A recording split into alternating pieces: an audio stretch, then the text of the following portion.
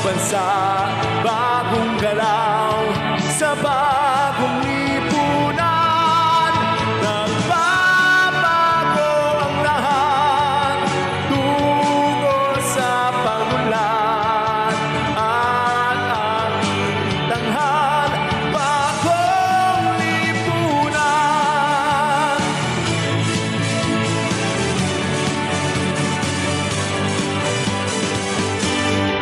Ang gabi nagmaliw ng ganap